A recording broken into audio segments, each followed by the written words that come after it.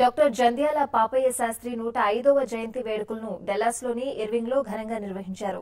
కరుణశ్రీ అభిమాన సంఘం ఆధ్వర్యంలో జరిగిన ఈ కార్యక్రమంలో ఆత్మీయ అతిథిగా డాక్టర్ ప్రసాద్ తోటకూర హాజరయ్యారు. కరుణశ్రీతో ఉన్న అనుబంధాన్ని ప్రసాద్ తోటకూర గుర్తు చేసుకున్నారు. ఈ సందర్భంగా ఏర్పాటు చేసిన కార్యక్రమంలో చిన్నారుల సాంస్కృతిక కార్యక్రమాలు ఆకట్టుకున్నాయి.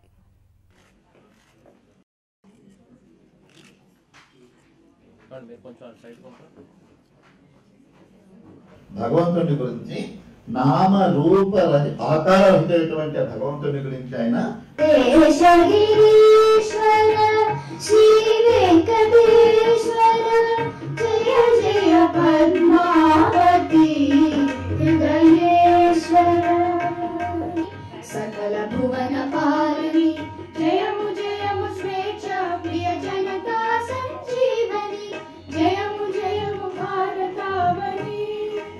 దీనంత మేర దహించుకొని పోవు.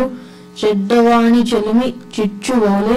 మంచివారి మైత్రి మలయ మారుత వీచి లలిత సుగుణ జాల తెలుగు బాల. కవిత ఎలా రాయాలి? ఎంత సుకుమారంగా రాయాలి? ఎంత శబ్ద అర్థాలు ఎట్లా ఉండాలి? అని చెప్తూ తాతయ్య గారు ఉదయ ఉదహరిస్తూ చెప్పినటువంటి ఈ మాలిక. కోకిలమ్మ చేసుకున్న పుణ్యం బేమి కాకి చేసుకున్న కర్మమేమి? మధుర భాషణమున మర్యాద ప్రాప్తించు లలిత సుగుణజాల తెలుగు బాల.